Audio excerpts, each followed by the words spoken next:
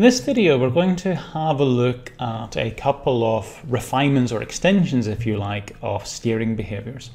In particular, we'll explore the notion of path following, which is where we'll get our steering behaviors to move us along a path. And also after that, then the notion of constraint, uh, steering constraints, where we will want to, for example, to simulate something like a car, uh, which can't accelerate in all directions at the, the same um, overall strength. Rather, it moves at different speeds in different directions. So the notion of constraining or steering behaviors. But we'll start off first of all with um, the, the broad idea of path following. And make a distinction at this point. There's a distinction between path finding and path following. In fact, we'll, we'll spend a full lecture looking at path finding. That's where you don't know how to get from your current position to your target position, and you have to work out a path that will take you from your start point to your end point. Path following happens after path finding. Uh, there and path following, we assume that we have a path, that work has been done, and all we're interested here is using our steering behaviors to get an object to follow that path, to walk along it, so to speak, or to move along it. So it's actually an easier thing overall than path finding in most cases. Um, by way of getting a little bit of context around this, so, so there we've got a green line, you can see that's our path, and we've got a, a green triangle, that's the object that we want to, to go along it. Quite often, if we imagine ourselves walking along a path, we'll imagine ourselves actually standing on the path, being part of it, and then sort of moving across its surface. That often will be the case. It's not necessarily the case. And you can see for the example down there that our green triangle is actually off the path. And this could uh, be the type of scenario where you have something that's moving at speed around, it has gone around a bend and is skidded off. Uh, so because we want to do it generically, the first thing we're going to say is that for our object, okay, where is your closest point relative to the path? What path point do you map onto? So we'll map it onto a particular point. We'll then be concerned with moving and looking a certain distance ahead along the path. So we will uh, go to some particular target point, which is further down the path. And uh, we'll be using seek as our form of behavior to move us along. So we will seek to the point that we have detected or determined further down the path. Um, if it's a path that has an end point, we might want to use arrive for that very last point if we want to stop down, uh, uh to stop whenever we reach it. So it's, it's, a, it's a delegated form of, of seek. We're going to build upon seek and then delegate the actual movement to seek itself. Show you a couple of algorithms. We'll start off with a non-predictive algorithm. This is one that won't try to take into account velocity and look further ahead. It's simply going to be concerned with whereabouts it is, and then let's pick a point further beyond. Um, so path follow, is the name of the method. We're assuming that we're passing in here the object that is moving along the path and the path itself. A few slides time we'll have a look at different ways in which you can define a path, uh, but there we're just assuming we have a class, don't care how the path's defined, we'll have a few methods for getting positions, uh, and, and that's what we'll be executing and calling here. We've got our path offset, and this is the notion of how far along that path we should look. Now, it's important to, to define what this is. So, for example, the path offset could span from zero to one where, um, or sorry, the path rather. But if you think about the path, we, we could have the notion of position along the path. Uh, that could go from zero to one, zero meaning at the start of the module, and one meaning uh, at the start of the path, and one meaning at the end of the path. And there we might have a path offset of say 0.05. You look 1 20th of the path distance ahead. Equally, uh, if our path was measured in terms of meters, we could have a path that is 800 meters in length and our path offset may be 10. We look 10 meters ahead of where we're at, and that's where we're going to be seeking towards.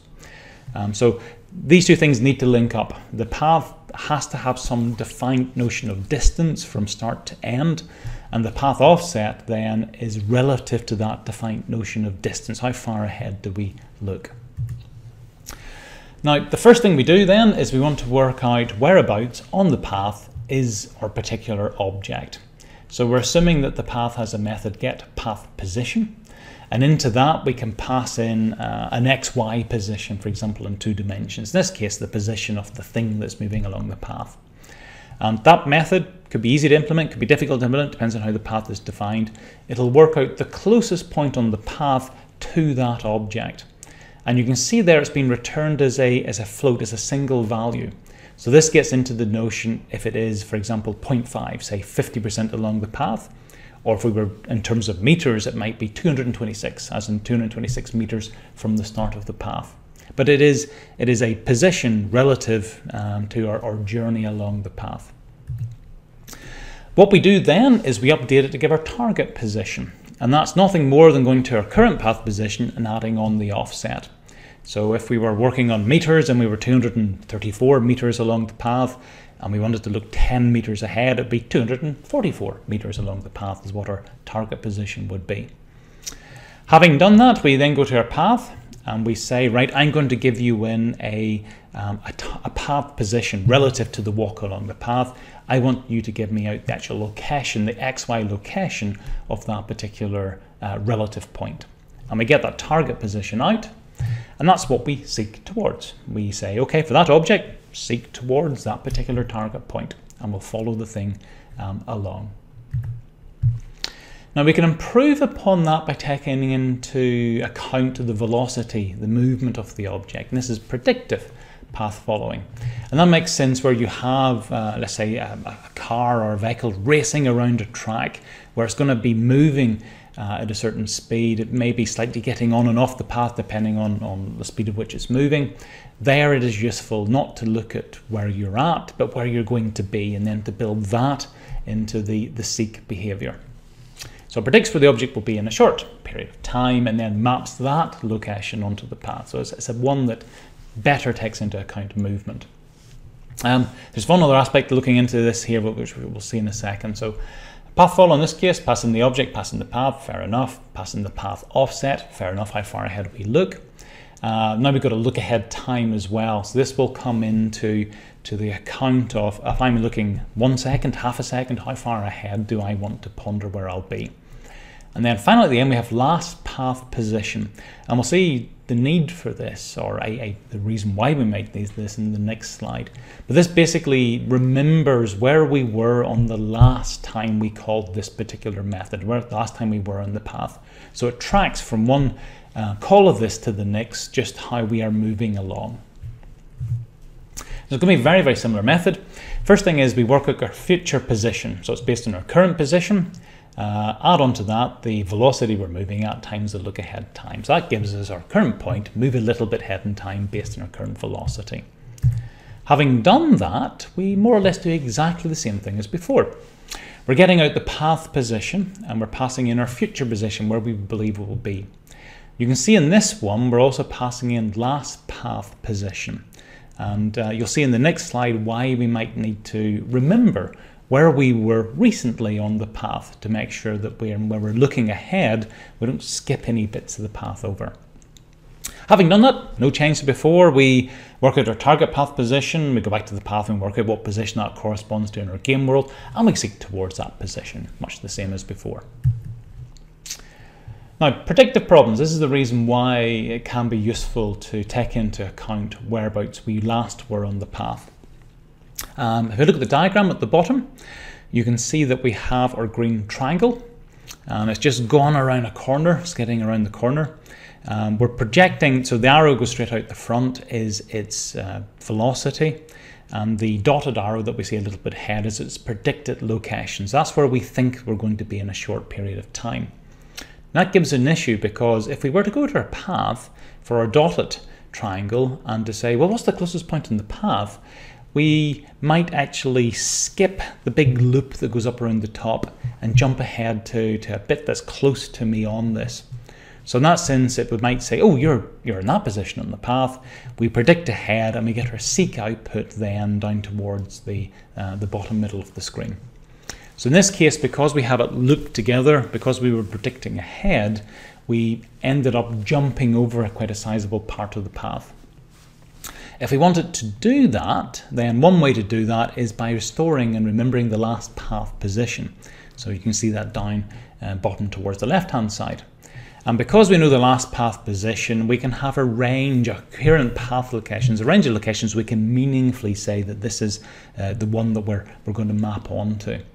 Uh, and that helps constrain it to the path so we can't jump over bits.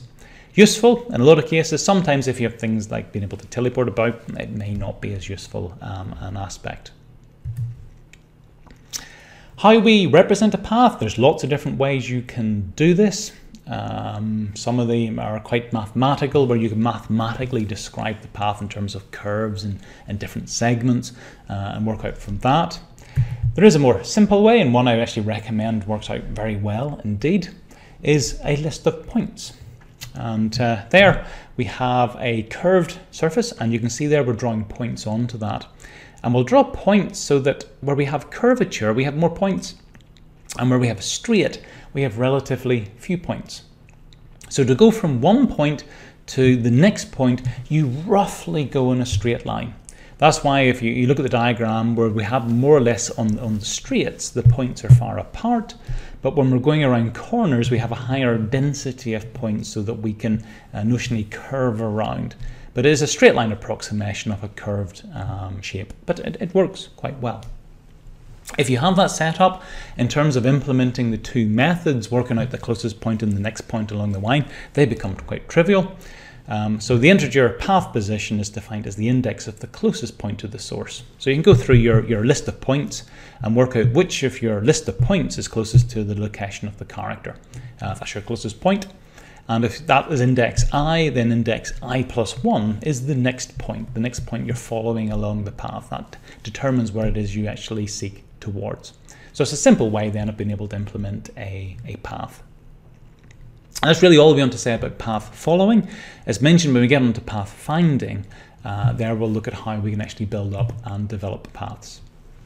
So last bit of this is the notion of constrained motion. Um, so here we have a car. We know that a car can, can turn at a certain rate. Um, it can accelerate forward with a certain speed. It can accelerate backwards with a certain speed. The output from our steering algorithms, all of the ones that we've seen, it gives us a velocity, well, it gives us an acceleration, it gives us a velocity and so on. The acceleration, we, the algorithm rather, assumes you can accelerate fully in every single direction. And for a lot of objects, that isn't uh, going to be the case. Um, so we want to be able to, to model this within our, our game. Um, it says down the bottom, in order to realize movement requests, a motor control layer can determine how to best execute a request, a process known as actuation. So there we put in an additional layer that, that interprets what the steering behavior is outputting in terms of the capabilities of the object that's trying to implement that steering directive. There's different ways you can do it. Um, I'll show you two. One's filtering, and filtering is actually quite a straightforward way that works most of the time, but not all of the time. Uh, so here we have a car. Um, we've got some requested linear acceleration, so it wants to accelerate in that particular direction with the strength of the line that's shown, and requested angular accelerations want the car to turn around, um, again by the amount that's shown. Now, for the car, for the way that it is situated, it will be able to accelerate forward with a certain maximum acceleration and we'll have a turning and be able to turn again with a certain overall amount of uh, rotational acceleration. And what we simply do is that if I wanted to accelerate, uh, in this case you look at sort of the x and the y axes, um, my requested linear acceleration will have something along the x, something along the y. I can't accelerate along the y at this point because I'm pointing along the x. So in this case, I'm going to ignore the y component. I'm just going to accelerate along the x component by the requested amount. Uh, likewise for the requested angular acceleration, if it exceeds the maximum I'm able to do for the surface that I'm on, I'm just going to truncate it at the maximum. Now it sounds crude, and it is crude, but if you are updating your, um, your filtering 10 times a second, then the car will move forward and will turn a little bit. And in the next update, it's going to be able to accelerate a bit more towards the direction and turn a bit more. So over several frames, it naturally will turn around and, and accelerate down towards uh, the target point. And it looks, generally speaking, quite good. Where you have problems is, is the example shown on the bottom, is where the, the requested uh, acceleration is, in this case, it's orthogonal, is at right angles to the car. So we're, we're almost requesting the car strongly accelerates uh, to the right hand side and a little bit forward. Now initially we can't accelerate to the right, so we ignore that and we just accelerate forward, but a little bit forward. So there, it won't look right. The car will move forward slowly and turn, and it's only whenever it's turned around in a leisurely speed will then start accelerating strongly towards the, the target. So it's yeah, it, it's not ideal, uh, but it'll get you there unless you're perfectly aligned with your target uh, location. Again, you can detect this based on the, the magnitude of the, the requested and then the magnitude of what is actually possible, and you can put in, in place some special functioning to deal with it. If you do want to use filtering um, uh, in terms of constraint motion, filtering is one I would recommend. If you want to be more fancy, well, here's a, an example of one that is more fancy. It is about the use of movement arcs. Uh, so we have um, three arcs. You can see two of them at this point. This is where the car is at rest. And we have a front arc that encompasses most of the car. And we have a rear arc um, that has a, a, a maximum distance associated with it.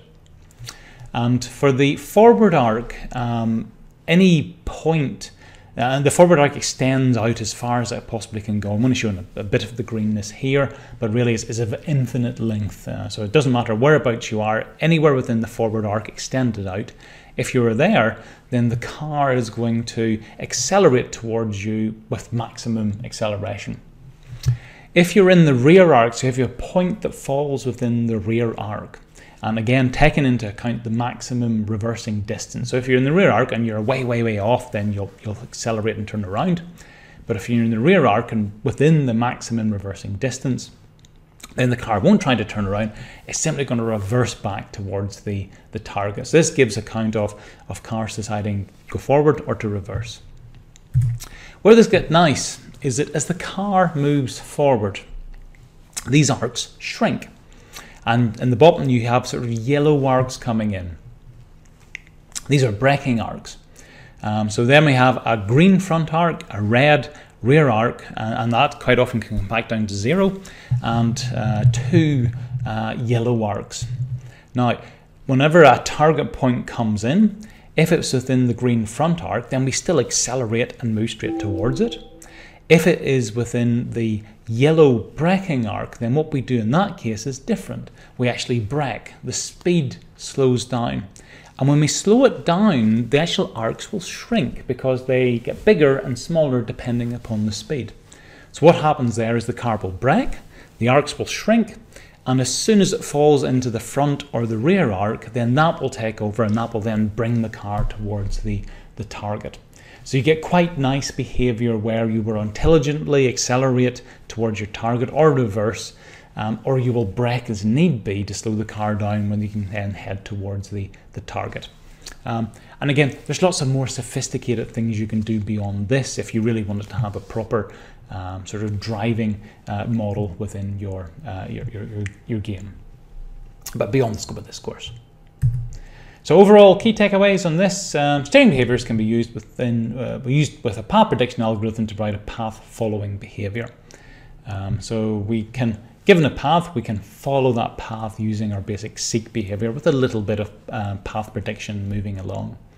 And by constraining the steering output, it's possible to provide physically plausible constrained movement. So if we wanted to simulate a car or a motorbike or something like that, then we can put that in so that it, it moves in the same sort of ways that we associate something moving in the real world.